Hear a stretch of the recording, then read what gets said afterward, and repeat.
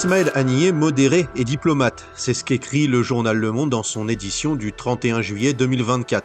On vous dit pourquoi Ismaël Haniyeh n'est vraiment ni l'un ni l'autre. C'était le 7 octobre. Ces images ont fait le tour du monde. Ismaël Haniyeh sourit à la vue des images de l'invasion par ces hommes des localités israéliennes, proches de la bande de Gaza. Le chef terroriste s'agenouille à terre et prie Allah d'avoir exaucé ses prières, tuer des juifs. Le meurtre des Juifs, c'est le fil rouge de la vie de cet ancien plâtrier d'Ashkelon, devenu l'architecte du Hamas 2.0 au début des années 2000. En un éclair, Haniyeh a gravi 4 à 4 les échelons de l'organisation terroriste palestinienne pour devenir le commanditaire principal de toutes les actions terroristes menées par le Hamas contre Israël depuis plus de 20 ans.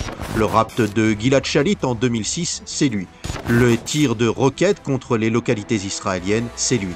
Les tunnels souterrains, c'est lui. Les attentats contre les civils israéliens, c'est lui. Les massacres du 7 octobre, c'est encore lui. Les meurtres reprogrammés d'hommes, femmes, d'enfants israéliens, c'est lui. Lui, c'est Ismaël Haniyeh, le terroriste en fuite à Doha au Qatar depuis 2017.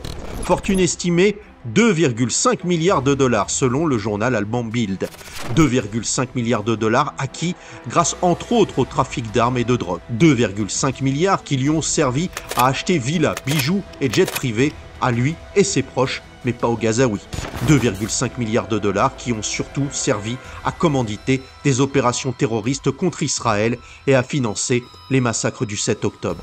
Ismaël Haniyeh ne se rêvait ni modéré ni diplomate, mais plutôt en bourreau des Juifs.